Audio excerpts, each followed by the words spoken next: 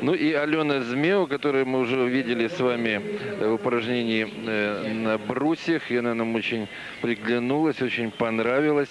И своим выступлением и таким своим критическим отношением Да, э, к себе самой, ее рыдания просто нас действительно потрясли. Но вот сейчас надо забыть уже обо всех э, неудачах. Ну, конечно, неудачи нельзя назвать ее выступление на брусьях. Она чуть не дотянула до бронзовой медали. Сейчас она выступает в финале на бревне. Давайте посмотрим. Опа.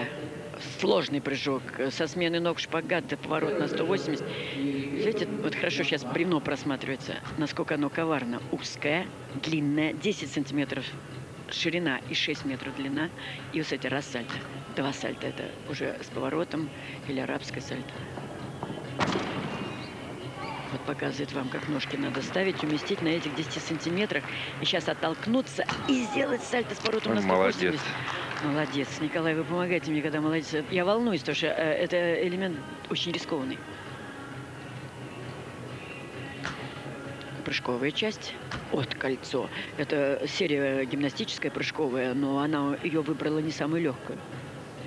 Вот это как раз просматривается почерк перспективы, такой перспективной гимнастки, с которой надо разговаривать уже не на «ты». Умница.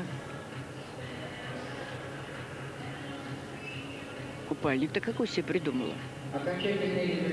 Фляг. Ланж на одну ногу.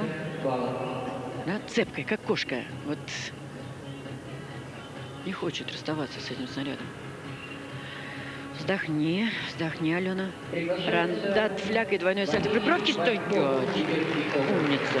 Ну что ж, поаплодируем ей вместе со зрителями. Да, спасибо. Вот действительно есть такие гимнастки, которые вот появится она и запомнится, запомнится всем нам, потому что действительно она и характер у нее очень интересный, и выступала она и на брусьях, и на бревне, Да. так что сразу же видно, что